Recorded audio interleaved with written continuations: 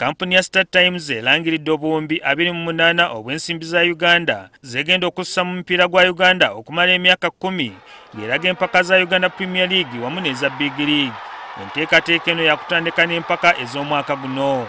Kitegeeza nti okumala emyaka 1 star times yokka yewebebwa obuyinza oba yewebebwa rights eziweereza ebintu bino byonna.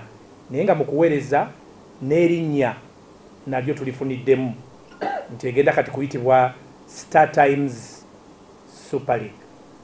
Eyitibwe star times big league.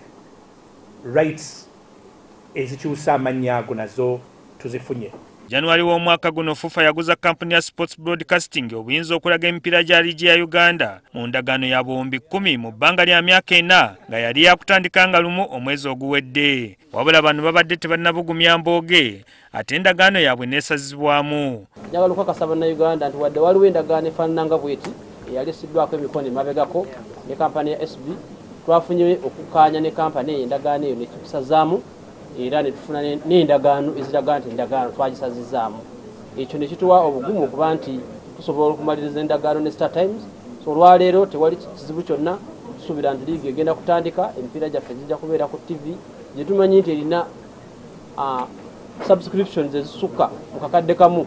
Mu nteekateeka ya star times kisuubirwa nti liigi yakulabwa bannayuganda obukadde butaano ate n'abantu abalala bangi mu mawanga ga afirika ne buwalabu amakumi asatu mu munaana sam mpoza.